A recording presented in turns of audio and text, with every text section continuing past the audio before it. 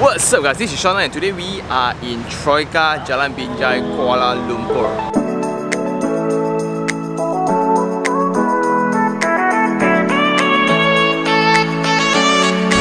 So I'm now outside of the Troika. This is where the office are and there's Acme Bar as well.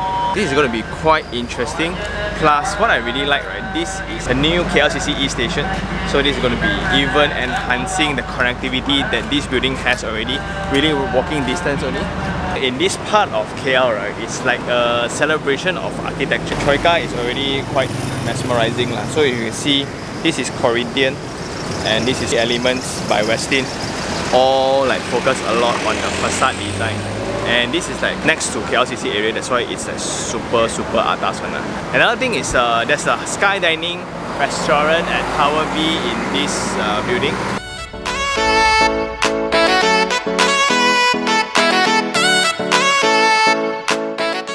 What you can see here, the car park, right? Some are individual car parks and some are this, which is called tandem car park. So this particular unit that we're going to visit, right? Is going to have two of these slots which means they can park four cars. But in authority wise they still consider two lah. so that's something to take note when you ask to rent or buy right? They say two car parks is it tandem or individual? Good to know.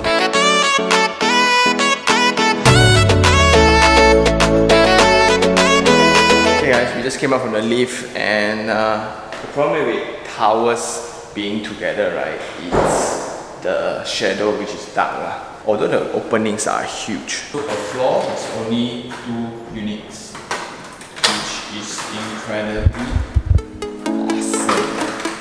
I need is me, myself, and I.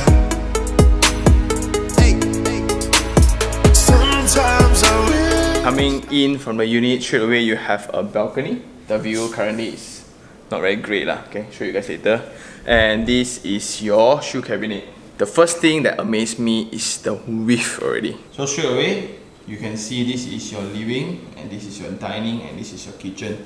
So this is the main continuous space you will see next to the views. So you can see that stretch of openings, right? Straight away just brings in the amount of daylight to this space. Awesome.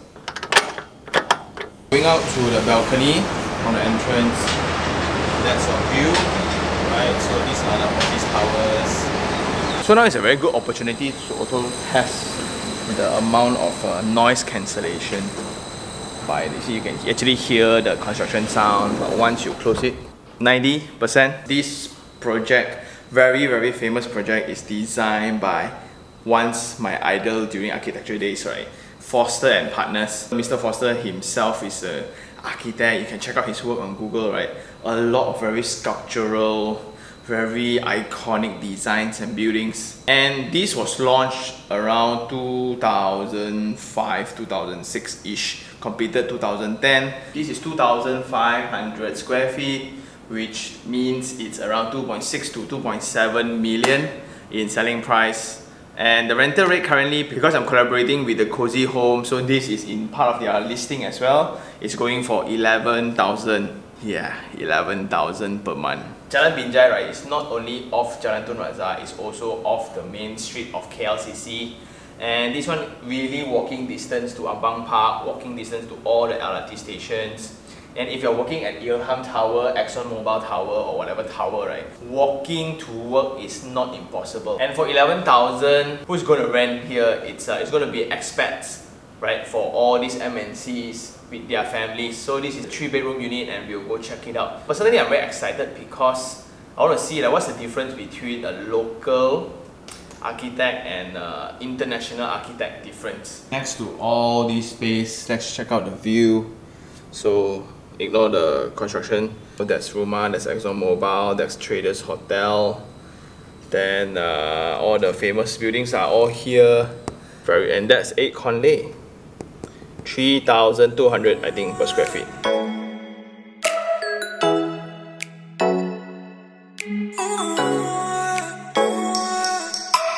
From the living and dining, this will be your kitchen and don't know how to say that, this scale right is just crazy big. This is your oven microwave. So this is your hood and hob a lot of space to prepare sandwich and prepare coffee. Okay, this is your basin and while doing this you can actually just hang out and chill with your friends while preparing your food. And that's not all. This is your wet kitchen where you do your heavy cooking. And uh, SMEG SMEG and it's a very good size, a lot of storage space. Unfortunately, this is where you do your laundry as well. So I prefer to have this in separate rooms, but but then you can see that it's already there's age to this building already. So this is your aircon compressor and this will be your maid's room on your left. Okay, so she has her own room and her own bathroom. Nice. Very differently, they place the DB, right? The DB box and the telecom box and whatever utility behind this area next to the wet kitchen. Hmm. So first concern, right? When I cook here and the whole house aircon is full blasting, this space will be super hot because look at the aircon compressors. And when it's raining, this whole area might get wet. You look at this area, it's actually very angular, which Chinese might have a problem with. La. We want everything square, square one. Okay, let's check out the master bedroom. You see when everything is not square, right? So if I go in here, straight away there's this angle of wall and I'm not sure why, right? the door can open so big, right? They put the stopper at this angle. So it's very difficult to open the door actually, especially for my size. Uh. And because of the very weird structural layout, you have column location like this. Then this is your bed. However, the view is still amazing uh, with the balcony itself. This is your king size bed and this is your humongous wardrobe. By the time, 10 years back, I don't think walk-in wardrobe is a thing yet. La. So you, you have a dedicated space for it before your bathroom and your bed, right? But those days, no such thing on it. So you have a very huge empty area. Don't know what to do with it. Timber flooring, nice. For this unit, you still get views like pocket greens and if people swimming, then bonus lah, okay? But the architecture is really something lah for the facade. Also, you have a balcony, okay, and this is where you have issues of overlooking already. One thing I really enjoy from this piece of architecture, right, is the details to the facade lah. No doubt that the facade looks amazing from afar, but now today is really to test out like facade versus the space which one more important? Because of the structural design they will plan their M&E to have plugs on the floor. So this one is where you put all your things here. Another cool thing is huge units right? All use centralized aircon okay that's why the compressor just now at the wet kitchen is so huge. We are now in the master bathroom. Your basin check out the spec. Duravit okay. Yeah this one is the, those 10 years ago punya design and uh, shower area and your bathtub. Yeah I like this space wow. And uh, your WC and that's about it. Coming out from the master bedroom this is two bedrooms. So you look at the floor right? This is going to be a nightmare for contractors to do.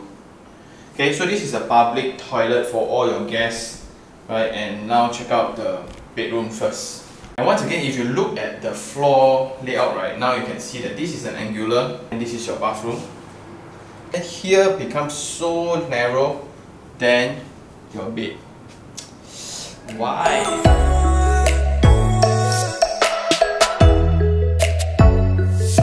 before I forget shout out again to Cozy Homes for actually inviting me to do this review. Cozy Home is a platform where they actually just list out all fully furnished units for rent. If you are looking for a fully furnished unit, just go there and check it out. Okay, for this unit as well, there's some overlooking issues where you can actually see through your neighbors, what they are doing and things like that.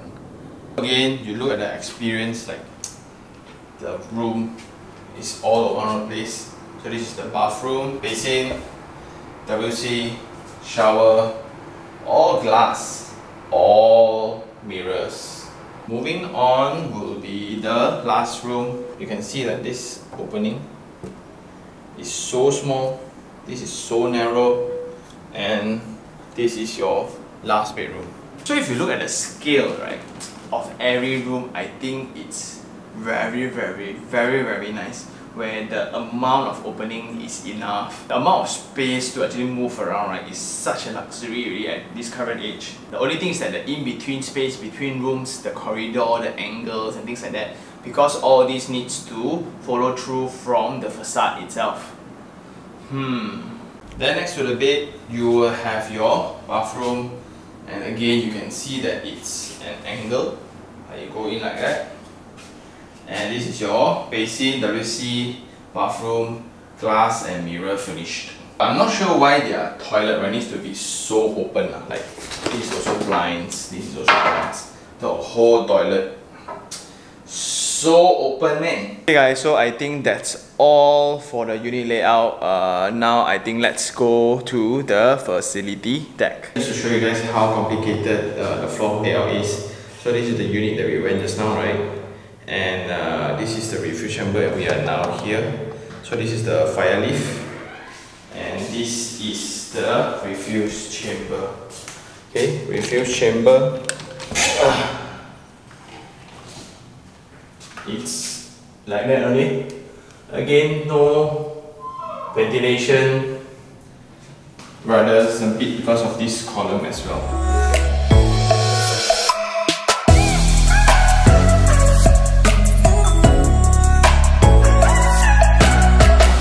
Hey guys, so now we are at the facility deck uh, next to the pool. That's the gym using Cambodia and I think one of the price is actually for this floor already because this is where you can actually see the true magic of architecture. So this is the community hall, right, for you to conduct meetings. This BNB building and Menara Yeongham landscapes, right? So this is cool. And these lounge. We are at the Central Park, right? The Central Green and it's all surrounded so all offices are surrounding this area and uh, from afar this really looks very nice lah. but if you go close right it somewhat needs maintenance lah. Mm. but one thing to really admire is this view right it's so majestic Okay guys, so I think that's all for the review. It's now time for Sean take 3 on 3. Three things I really like. Number one, definitely the location of being in KL City, the heart. Because this is right next to KLCC, literally next to KLCC, Menara Binjai, next to Tun Razak and KLCC. So that gives you the convenience and the accessibility to all the office towers around as well as the LRT station. So you can go to Ampang Park, you can go to KLCC station, and etc. But two, I really like the density, the very low density because of such valuable location, right? It's very difficult to look for projects that's very low density. So this one in every floor plate, there's only two. This is also a mixed development. You have office down below and you have restaurants which is rather famous as well. A lot of people actually do dine in this sky dining area and you are actually staying inside. So you want to give that private exclusivity but also it's somewhat open to public. Third of all, it's designed by one of my idols back then when I was university because Foster designs a lot of iconic buildings. You can just Google him. But this really demonstrates, right, those days 10 years ago, what's the evolution of housing from then to now. Like every room has very amazing space and scale to it but then you will hit to the three things that I don't like. Three things that I don't like, number one, it's the corridor, the in-between space between important spaces which is the circulation space, right? It's very weird. Like you have very weird corners and kinks all around the place, which I find very weird. Like. So this is really a debate between form of your facade versus your experience in your unit. Number two, you will have a lot of noise here because this is one of the hard in action so that is something to take note as well and the last point of all because this location right the rate is actually very different uh, this one is 1002 per square feet to me it's not costly at all just because the scale is 2500 square feet that's why it's 2.7 million but 1200 per square feet at this location. The only thing that it's age, that's like age to it. So a lot of people will debate like leasehold versus freehold, right? This building is already 15 years and you can see some of the design is already faded out. You still have 70 over years if this is a leasehold, but this is a freehold project, don't worry. Uh, shout out again to Cozy Homes for actually having me and shout out to Jae. So Jae's just there. Okay, uh, if anything, I'll put his number down below for viewing arrangements. And if you really like this video, like it, share it, and even subscribe for more information like this. Until next time, this is Sean Tan